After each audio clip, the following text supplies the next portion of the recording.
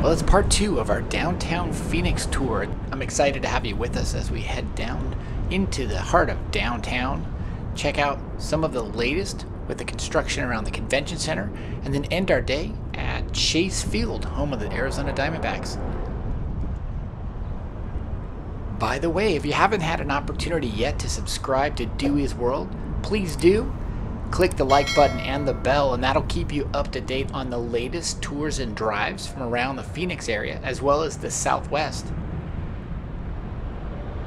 Speaking of that, check out the other video, part one of this drive, to get up to speed.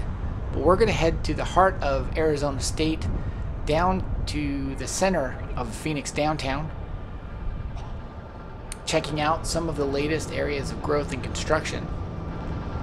Lots of people out today, which is nice to see.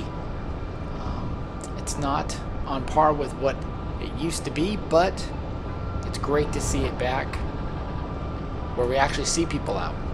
It's great to see that recovery.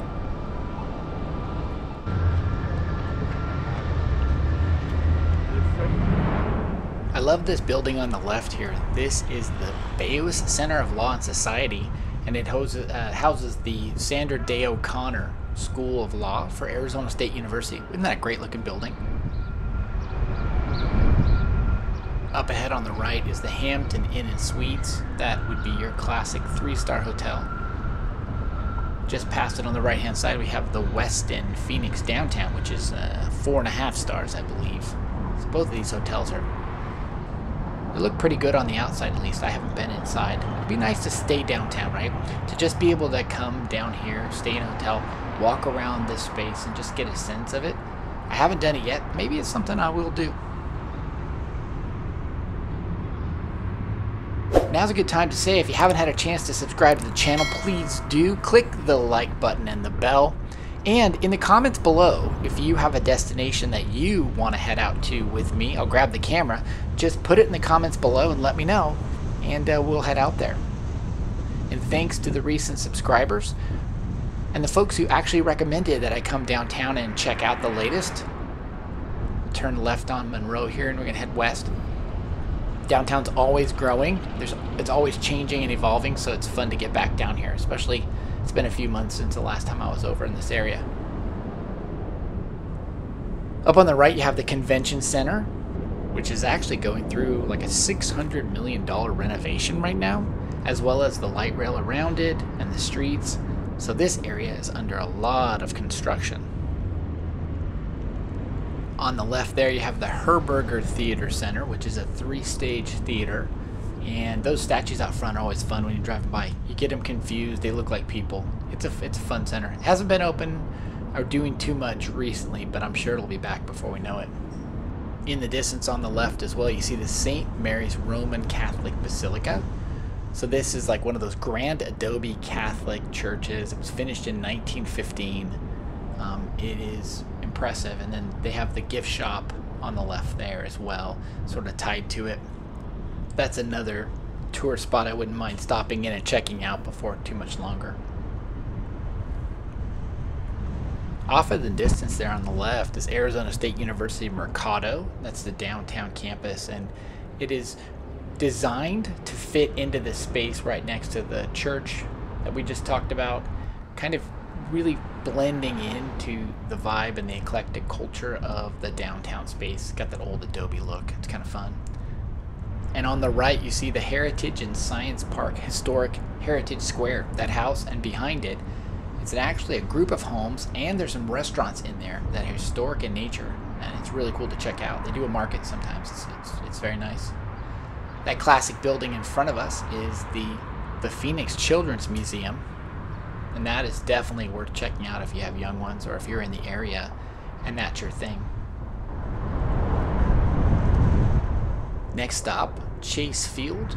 Um, we're coming up right now on the corner of Washington and 7th Street.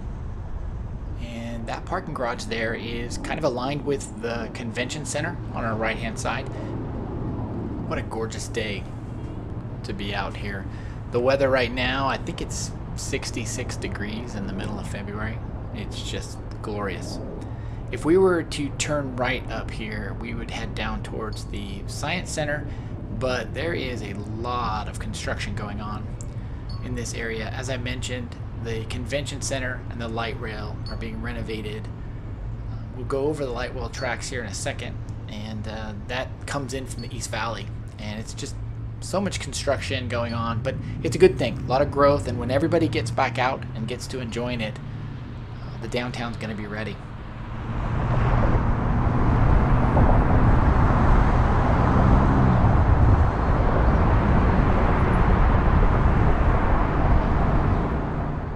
Coming into view on the right hand side is Chase Field. That is home to the Arizona Diamondbacks, and as you can see, it looks like there's windows open right behind the sign for Chase Field there, and there actually is. That stadium has a retractable roof, and they also have uh, sides that can ventilate, as you can see. So you can open that up and let the air flow through. One time we saw a game there, and it got really warm in the upper deck, but they just pop the roof on right after the sun sets. They open up those side vents, and all the heat radiates out into the desert, and actually got a little chilly after that. It was nice.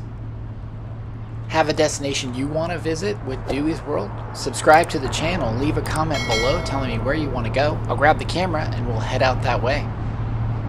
By the way, all of the feedback you guys leave me I take seriously, so I'm going to continue to evolve the channel as we drive around the southwest and check things out. And uh, so don't be surprised if we see some changes coming soon, but thank you guys for all of your comments and your likes below. Means a lot. There's that Chase Field, those open vents on the right hand side. You can see it's a really good looking ballpark right here in the heart of downtown. Let's head up over the 7th Street Bridge here, over the train tracks, and then we'll probably look to turn right, circle back towards Chase Field, and check it out. But as I mentioned, what a glorious day looking out towards the South Mountain.